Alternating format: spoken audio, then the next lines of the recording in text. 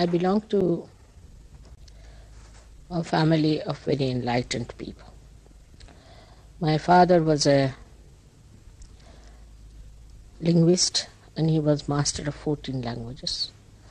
He knew about 26 languages.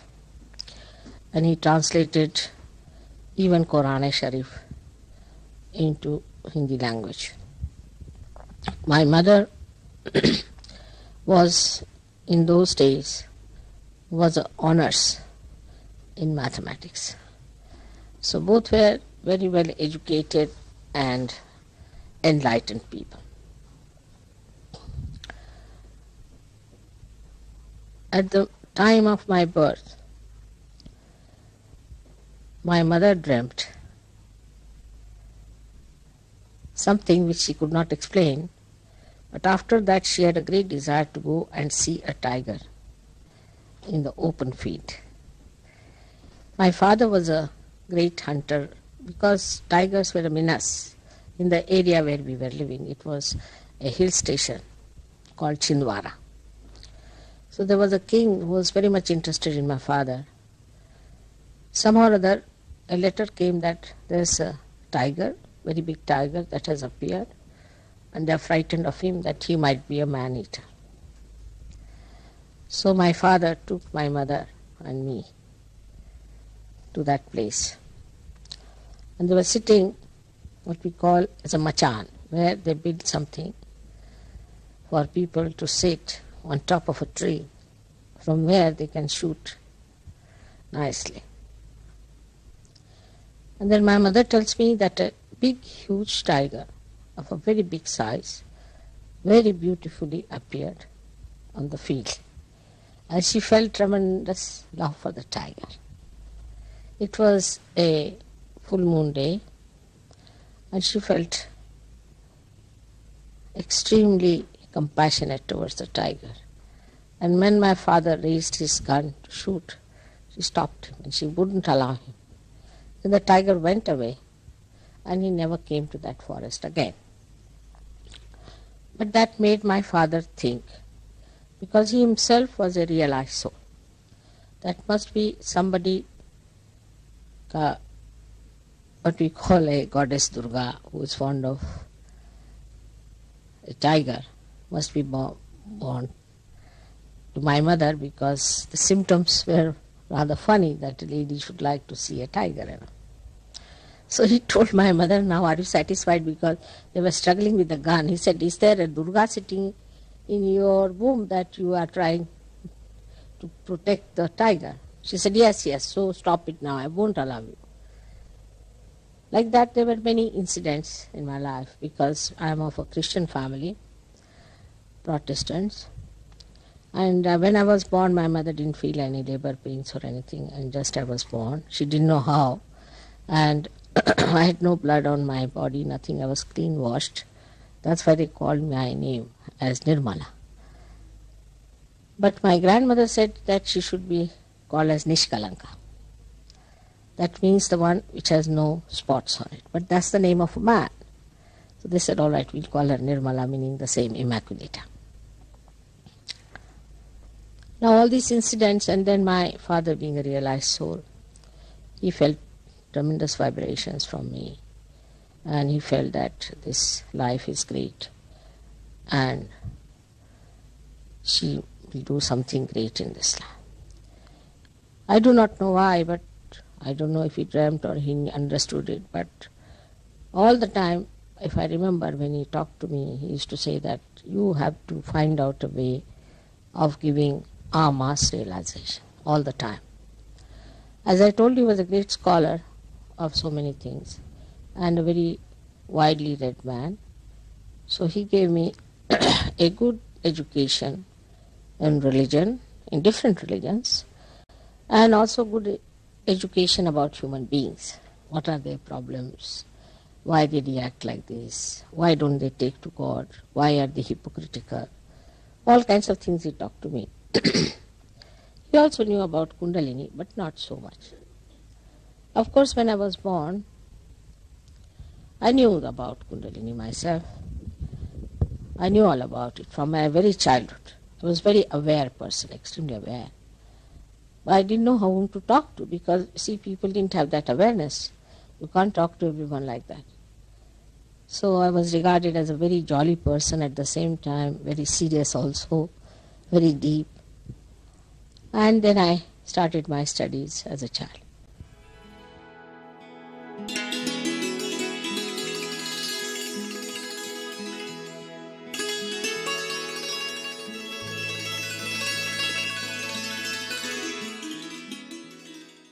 Not very much interested in the studies, but I used to do very well.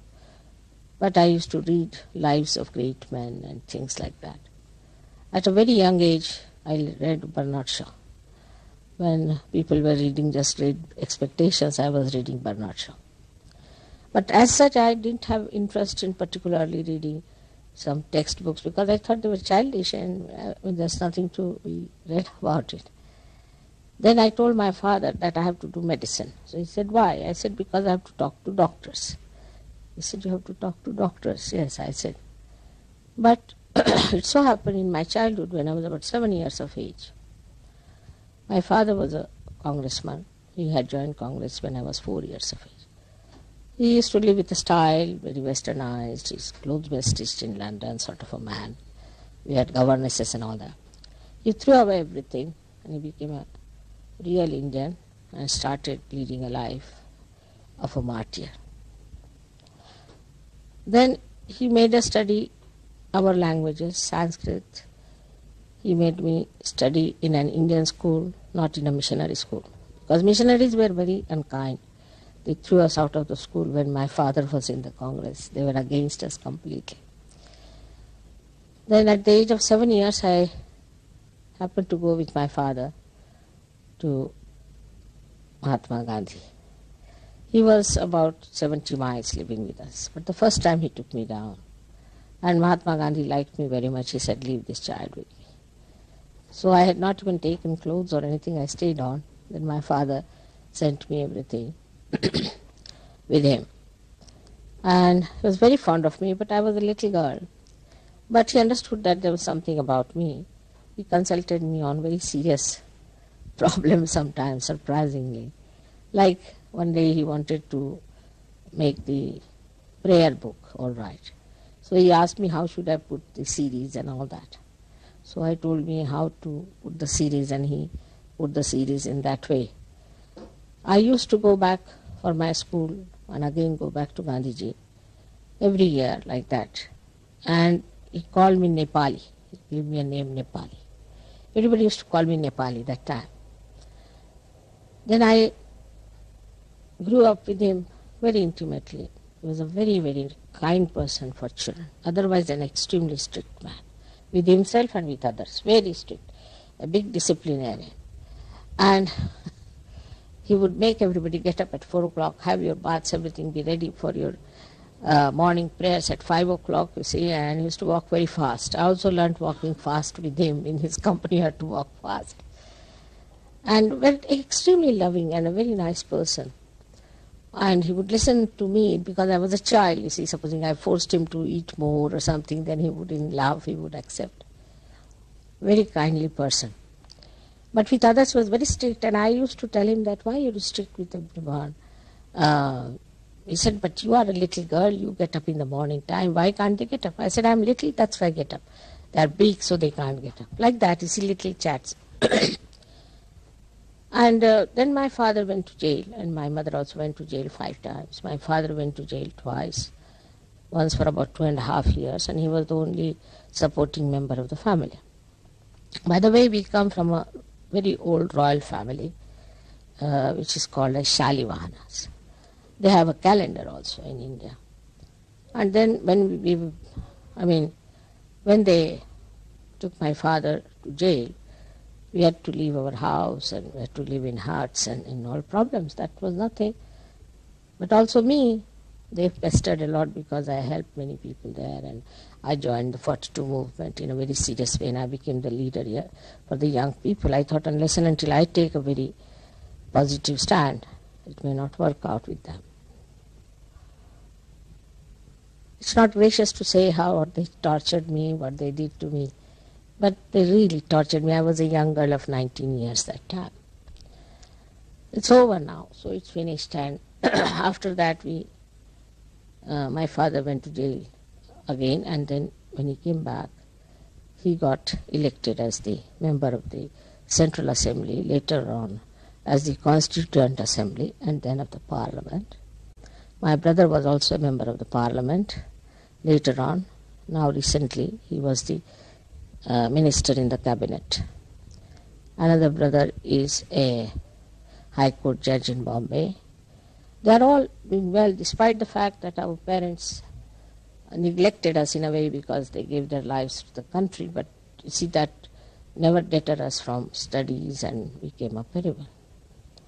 Then I, when I was in 42, moved went to see my college rusticated me from the college. They threw me out, and I had to go to another college to study far away from my house in Punjab, where I studied for two years.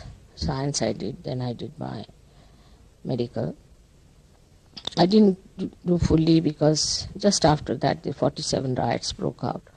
So college was closed and I didn't want to know more because what I wanted to know I came to know about it. So I did not need and I got married. You must have heard my husband was, is now the Secretary General of the International Maritime Organization. He held very high positions. He was also Secretary to Lal Bahadur Shastri, who was our Prime Minister, who was another very great man, but he did not survive long. If he had survived, things would have been different, I think, for our country because he was a Gandhian, out and out Gandhian, and he lived like an ideal Gandhian personality.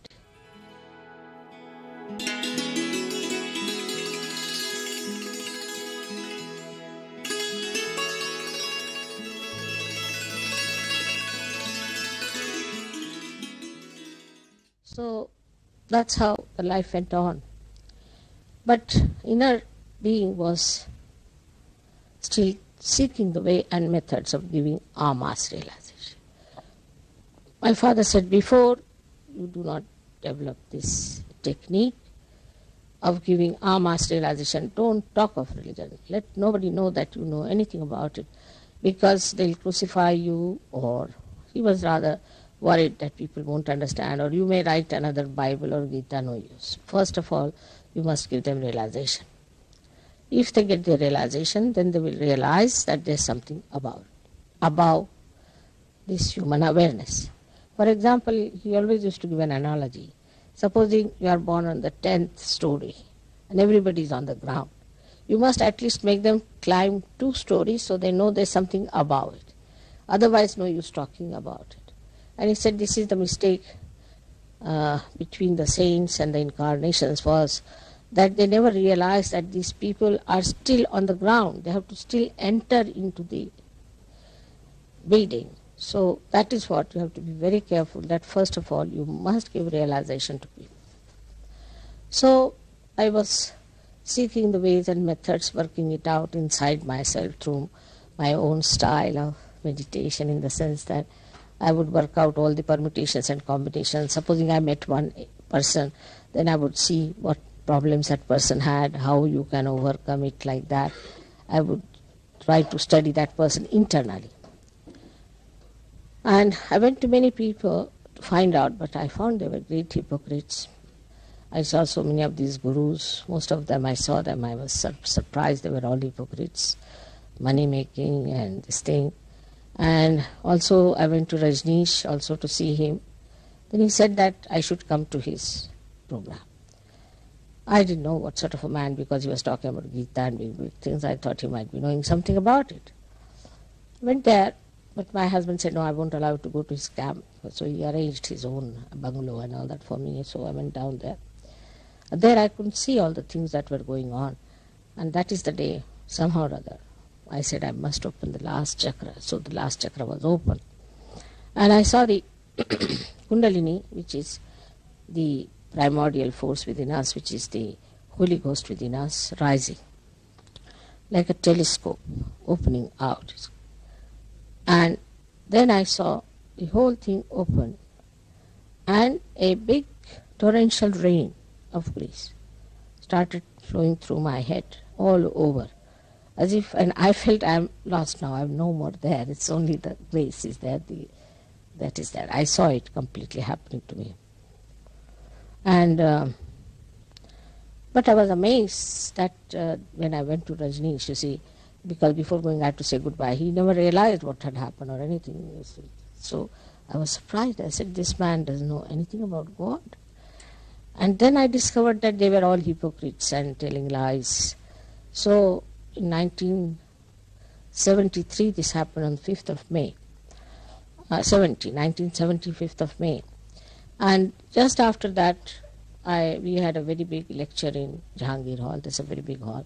And thousands of people had come. I told them very frankly that these are all thugs and these are like these hypocrites. Some of them are demonic, some are evil people. I took their names, everything. I told them don't go near them. There were some foreigners also. And uh, there were so many others whom I told these things very clearly. And they got frightened. They said, You shouldn't say like this. They will come and murder you. They'll do. I said, Let them come and murder me. But nobody did anything. Nobody even went to the courts. And that's how, you see, uh, they tried to bring bad name to me. They paid money to the newspapers to publish things against me because I said you cannot pay money. So they thought that I was just trying to see uh, harm them by saying such a thing that you can't earn money in the name of God. If it's a job, you can do it, but God's work is not a job. And the struggle started from the day I started giving realization. And I started with one lady who got realization first. Then we got about 12 people who got realization. In two years, I got only about 14 people realization. Then gradually, when 14 people got realization, then many others started getting realization. But I started also curing people because that was helping a lot. Then uh, my, hu- my husband got elected to this post and we had to come to London. So when I came to London, we had one program in Bharati Vidya Bhavan, they arranged it. So the Indians abroad are not so much interested in God, they are more interested in money. So none of the Indians stayed there, they all ran away. And uh, only the foreigners who were there were about seven hippies. So I had to work on them, seven hippies. For four years I was working on them to give them realization. Very difficult, you see. Their liver was bad, they had ill health, their head was off, terrible times. But in between I used to go to India. And in India also the work was done. For three months always I would be in India. So we started work in the villages, especially surprisingly, where my forefathers were ruling in that area, the work started moving in a very big way. And there then we started taking some people from India. Then some people came from Australia to India, like that. And the work started moving in those directions. Then gradually the work improved and people found that this is the way we can transform ourselves. Many people were taking drugs or alcoholic or mad people or cancer people, they felt better, then they got cured, and it was established that Sahaja Yoga is something very important. Now, when I travel all over the world, you see, first my husband used to pay for everything. Wherever I went, he had to pay, or any expenses he used to do for me. Gradually, then now these people pay for my travel, but otherwise they don't have to pay for anything else. That's how we started our work. Uh, there was a lot of opposition, and the media people would never understand it because it was no such a sensation, as you can say. Uh, nothing to people feel excited, but in a way, it's a very great thing because if this is the solution for the whole world, one should try to do it. Then we had very great people who came to come came to Sahaja Yoga, like we can say the Hague High Court judge, who is now the president, who has given Nicaragua uh, thing judgment. He and many uh, lawyers and many barristers. We have one barrister here from Algeria. and doctors, and then they took over and they started helping me out how to propagate Sahaja Yoga. But it was a difficult task in the West. Of course, in India it spread very fast in the villages. But city people in India also are westernized and they start analyzing. They don't know much about our past, they don't know uh, anything about our heritage that we have, our Kundalini and all that. But some people do know about self realization. But these gurus could not stick on in India because nobody would accept them, so they all ran away abroad. And that was something a blessing for me also because I didn't have to fight them. Uh, and it started working out, and then people found that it helps in every way, and they found so many miracles about it. And that's how Sahaja Yoga got settled quite a lot. But still, I would say that we have not been to certain countries so far. And in the West, I would say that so much work has still to be done.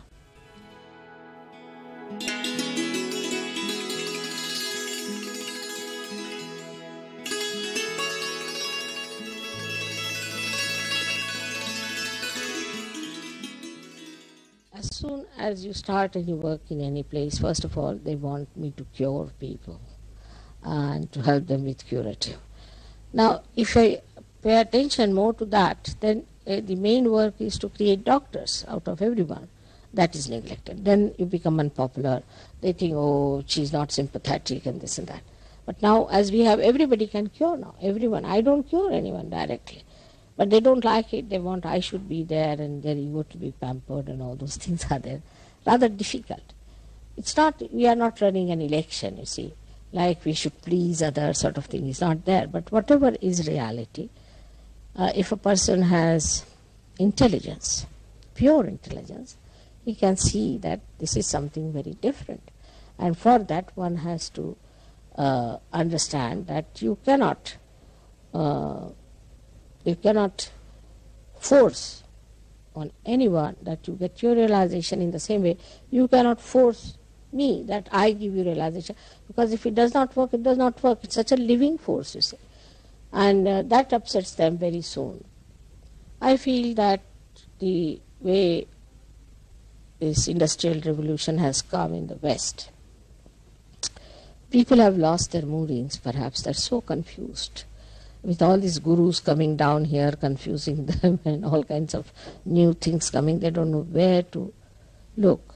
But unless and until you get your evolution completed, unless and until you reach that absolute state of understanding, the chaos will remain. So one has to try to get to that. But one must understand you can't pay for it. There's no effort.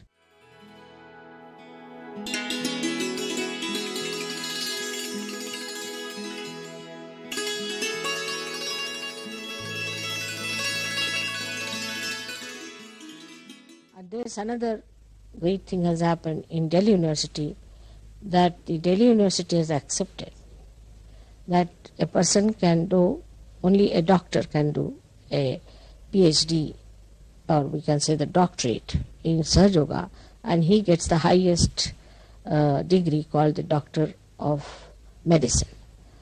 And uh, perhaps maybe after some time they will allow anyone to do that. This is about the medicine part of it. In agriculture, we have done lots of research myself. You have somebody here, an expert on agriculture. He's also done a lot of research, and we found out that with vibrations, we start after realization. If you vibrate the water and if you water the plants with that, then sometimes you might get even 10 times more breed. That's what they did in India in one of the agricultural university, but here also he's found out that there's tremendous difference between the growth of an ordinary thing. Another thing we have found out in agriculture, that if you get vibrations, then even an ordinary cow can give lot of milk. But if you have hybrid cows, then you see that it's not good for the brain because a person who takes hybrid milk also gets hybrid and his brain becomes little wobbly. So better to have a pure milk from a cow which is not being uh, put to this kind of a experimentation. Moreover, food also, if it's hybrid food, is not very good for us because that spoils our nerves, I think. But ordinary seeds you cannot use because they have weakened and they cannot reproduce. So when we vibrate them, they produce very well, just like better than even sometimes hybrid thing, and the food it tastes very well and it doesn't give those complications. So this can help in agriculture in India and uh, the government has allotted us a lot of land where we are going to now experiment and we are going to start the experimentation there to show that how we can use this. But many farmers who are Sahaja Yogis have done a lot of job and they have uh, discovered that even animals and uh, this uh, what you call farming everything is helped very much by vibration.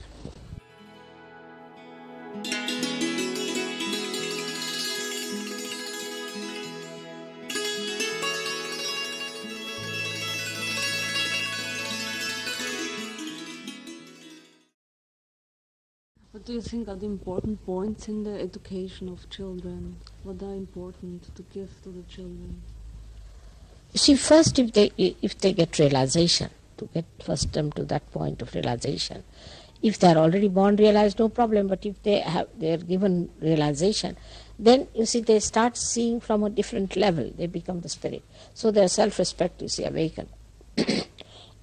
Such children behave in a very dignified, elderly manner. You see, they talk in a very elderly manner and they give solutions of all kinds, you see. And they are tremendous people.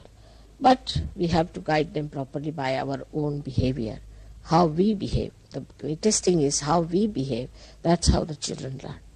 We put the children uh, certain to some tests, how they are, we find out if they have any physical problems, we cure them. If they have mental problem, we cure them. If they have any other problem, social problem or anything, we try to help them out.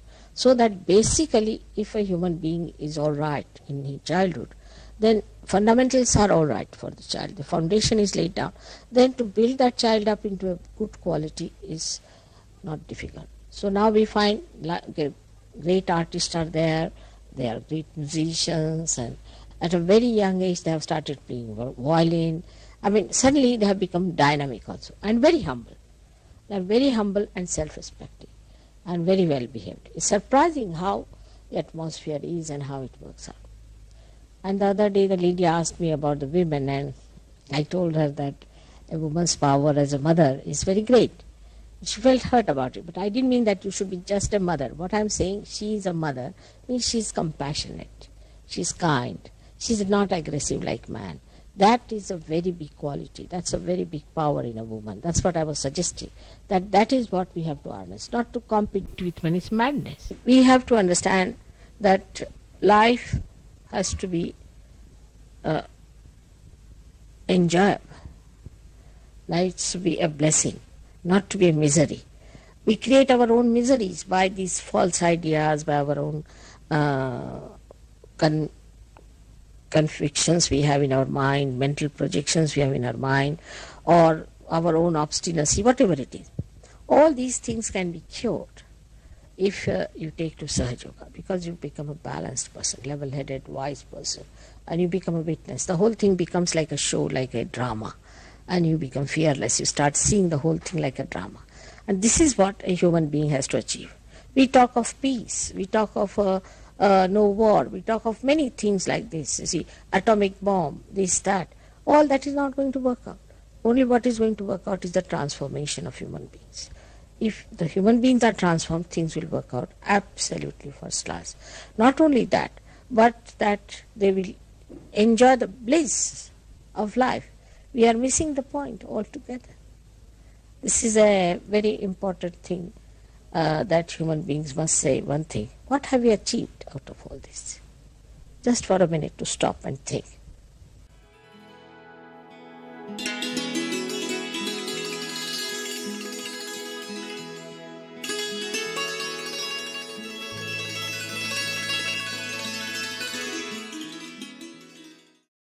or illnesses are caused by the imbalances within us, by our extreme behavior. And supposing, say now, the cancer, we can take the cancer. Is cancer is caused by the overactivity of the sympathetic nervous system. Now, supposing uh, a person is uh, a very sad person. He cries and weeps and all the times feels guilty and thinks that he's the worst person ever born. He's committed so many sins and all sorts of nonsense, you see. Then he goes to the left side, according to us, and crosses over to the collective subconscious area. And there, according to us, what they call as protein 58 and uh, protein 52, doctors call it that way, but we call it as the dead souls. They exist there. And they catch hold of you. And they trigger the cancer. But supposing by any chance you can bring the attention fully away from that, in the center, you can get cured. So it is the centers within us which are subtle, which are basically seven centers. There are many others, but basically seven. If you can put them right, you cannot have any sickness or illness of any kind.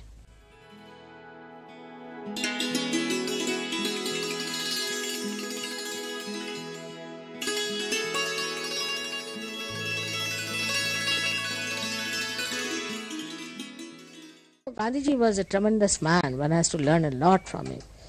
He was not at all a hypocrite. That's one thing.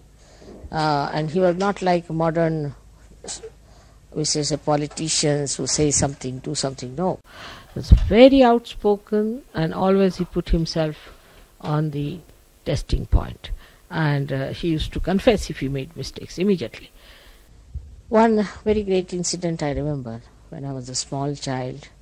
They were having a uh, meeting together and we girls were there only sitting, giving them uh, water and things to all the people, all the big uh, people were there, like Jawaharlal Nehru was there, and also Maulana Azad, all these people were sitting there. they were discussing something.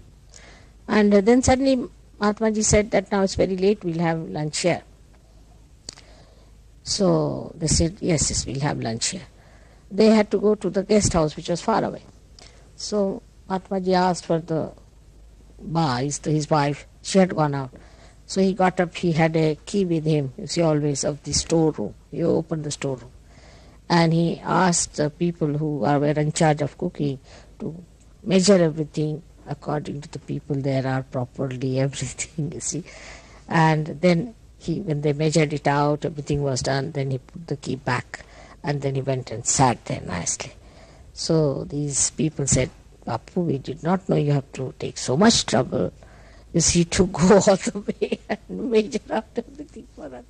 It didn't take much time, about 15 minutes, but still. So he said, What do you think? This is the blood of my country. I cannot allow it to be wasted. See, that's the sign of a person who understands the value of public money. That's just ingrained in him. But those who saw him also felt that look at this man who is living like a ascetic absolutely in the sense that he would not touch the public money. And that is one of the key keys for all the leaders. If they are absolutely above the money, then only people will respect. Otherwise, there's no way out. But if you find these days in every country so much of corruption, hypocrisy, then you are really shocked.